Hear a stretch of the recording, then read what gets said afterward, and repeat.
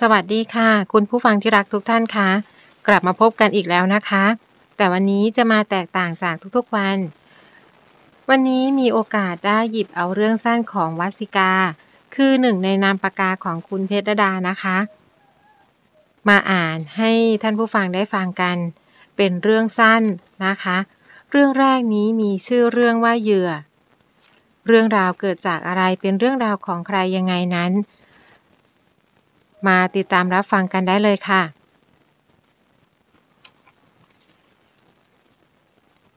บ่ายโมงตรง ฉันเดินออกจากมหาวิทยาลัยคนเดียว เพราะความที่ไม่ค่อยชอบเที่ยวกับเพื่อนๆ หลังเลิกเรียนทุกครั้ง ฉันจึงเดินทางกลับบ้าน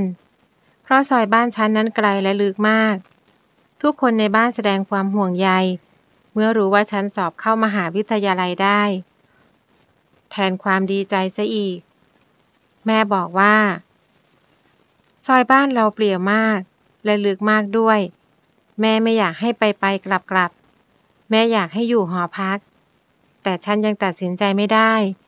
เพราะเป็นห่วงบ้าน ห่วงแม่ อีกอย่างหนึ่ง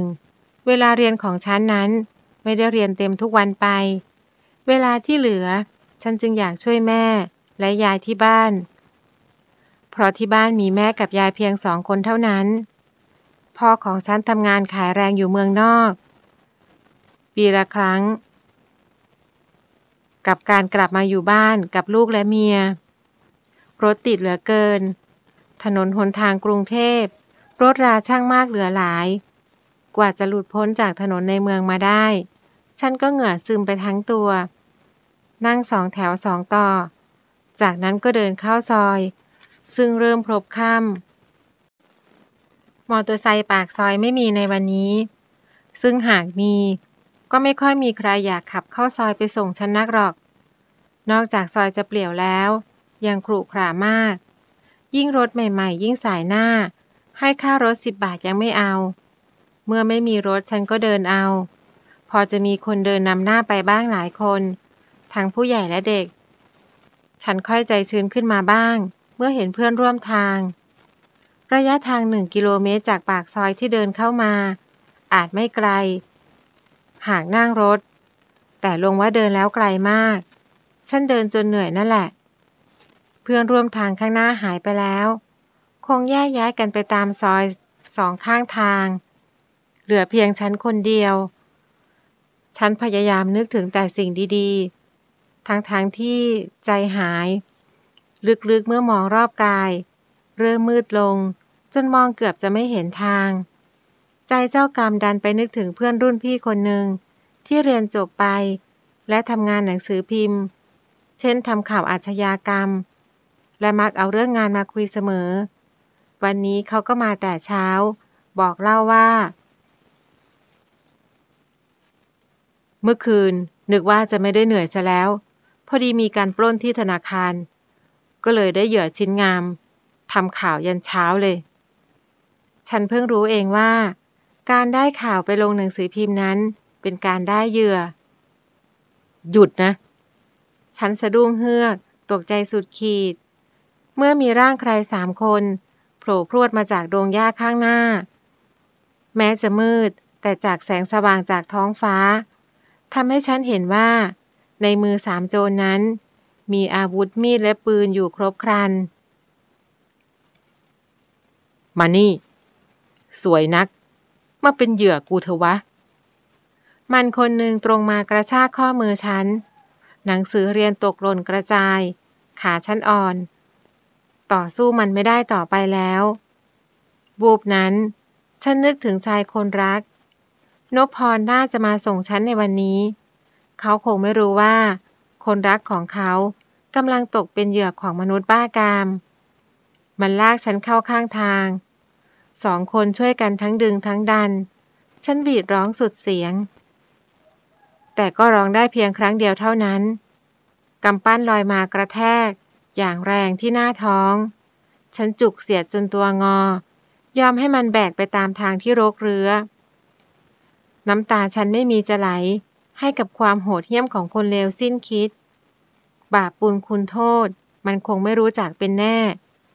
ป่วยการที่ฉันจะร้องขอความช่วยเหลือ ตายเป็นตาย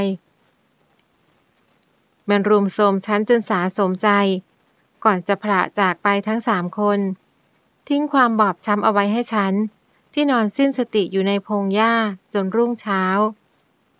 เสียงเอะอะรอบกายดังขึ้นนั่นแหละทำให้ฉันรู้สึกตัวว่า ร่างกายกำลังถูกแย่งยื้อเรามาก่อน ลื้อมาทีหลัง จะเอาไปไม่ได้ทำไมจะไม่ได้ ในเมื่อท้องที่นี้เป็นของอ้วเหยื่อทุกรายที่นี่เขตนี้เป็นของมูลนิธิวทั้งนั้น ลือมาผิดถิ่น อย่าซ่าหน่อยเลยนะ คุณตำรวจครับ มาเร็วหน่อยครับ เหยื่อยังไม่รู้ตัว ฉันลืมตามองสัตว์ร้ายในคราบมนุษย์ ทุกดวงตามองฉันเหมือนเหยื่อ แม่ร้องไห้เมื่อเห็นสภาพฉัน ฉันยิ้มให้แม่บนเตียงโรงพยาบาล แววตาฉันคงแห้งผาก และแม่คงใจหาย ตำรวจสอบส่วนฉัน เหมือนฉันเป็นคนร้าย ฉันสายหน้า บอกคำเดียวว่าจำไม่ได้ ออกไป วันเวลาผ่านไปแล้ว พร้อมกับคำว่านักศึกษา บินไปจากคนอย่างฉัน นั่นยังไม่พอหรอก หนังสือพิมพ์ที่ลงข่าวใหญ่ทำให้คนที่รู้จักฉันหลายต่อหลายคน พากันมองฉันอย่างสมเพศเวทนา แม้ปากบางคนจะมีรอยยิ้มให้ แต่ใจนั้น ฉันรู้ คนที่เป็นเหยื่ออันโอชานั่นคือฉัน ฉันตกเป็นเหยื่อปากคนรอบกายไปแล้ว จะเลิกเรียนไหมลูก หรือว่าจะย้ายไปที่อื่นเลย แม่จะขายที่ขายบ้านไปอยู่ที่อื่น แม่สงสารฉัน ขนาดจะขายบ้านขายที่ ที่มีเพียงห้าสิบตารางวา ฉันมองหน้าแม่ เราน่าจะไปจากตรงนี้ เพื่อเริ่มเดินทางใหม่ ทางที่ไม่ต้องเป็นเหยื่อใครต่อใครอีกนพพรหายไปจากชีวิตฉันตั้งแต่วันแรก ที่หนังสือพิมพ์ลงข่าวข่มขืนสาวในซอยเปลี่ยว เขาหายไป โดยไม่มีแม้แต่เงาเลย สิ้นกันทีคนรัก ที่รักเพียงปากเท่านั้น เขาไม่ได้รักฉันด้วยใจ เชียงใหม่ เมื่อที่เรามาตั้งต้นใหม่ แม่บอกว่า เมืองสวย ป่าเขาเขียวขจี น้ำใจคนต้องมากล้นแน่นอน แม่เช่าบ้านอยู่ ฉันเข้าเรียนที่ใหม่ เป็นนักศึกษาเวลาพิเศษ ตอนเช้าบ่ายช่วยแม่ขายของยายช่วยทำของขาย ความสุขเริ่มเข้ามาเยือนครอบครัวเล็กๆของเราแล้ว แม้มนทินดำจะกอดติดร่างกายฉันมาด้วยก็ตาม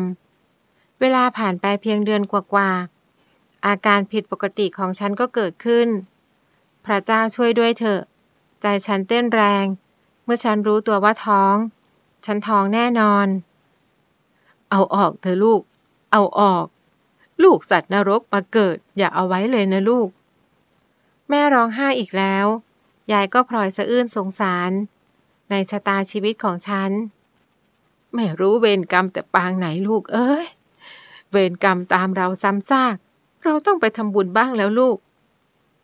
ฉันนอนคิดสองสามคืน ไม่มีทางที่ฉันจะสร้างบาป โดยการเอาชีวิตเล็กๆ นี้ไปทิ้งหรอก ฉันบาปหนามากเพียงพอแล้ว กรรมฉันก็คงสร้างเอาไว้มาก ชาตินี้ฉันจึงได้พบความวิบัติแห่งชีวิต ฉันเชื่อว่าทุกอย่างในชีวิตฉัน เกิดจากกรรม กรรมอย่างแน่นอน เป็นกรรมเก่าที่ตามล้างผลาญชีวิตฉันทำไมฉันต้องสร้างกรรมเก่าอีกเล่า อะไรจะเกิด ก็ปล่อยมันเถอะ ชีวิตนี้ ฉันจะไม่สร้างกรรมอีกแล้ว แม่ไม่มีทางเลี้ยงลูกที่เกิดจากสัตว์นรกนั่นหรอก วิภา เอาออกเถอะลูก ใครเขาจะว่าเอานะ ว่าเราท้องไม่มีพ่อ ฉันสายหน้า เมื่อแม่ไม่ต้องการหลานที่จะเกิดมา ฉันก็จะไป ไปจากแม่เสียที ฉันรู้ว่า แม่สู้ชีวิตเองได้ แม้จะมียายอีกคนนึงแต่แม่ก็ได้เงินเดือนจากพ่อเสมอทุกเดือน ฉันไปจากที่นี่ แม่อยู่ได้แน่ รอจนกว่าจะคลอด ฉันจะอุ้มหลานมาให้แม่ดูหน้า สองวันต่อมา ฉันก็พาชีวิตไปจากตรงนั้น ฉันไปอยู่ใต้สุด พร้อมกับความรู้แค่มัธยมปลายเท่านั้น ฉันหางานทำอย่างเร่งด่วน เพราะมีเงินน้อยเกินไปเช่าบ้านทำงานโรงงานน้ำมันปาล์มเงินเดือนน้อยนิดแต่ก็พออยู่ได้ เพราะปากเดียวท้องเดียวจนท้องใหญ่ ฉันก็ได้ลาคลอดสองเดือน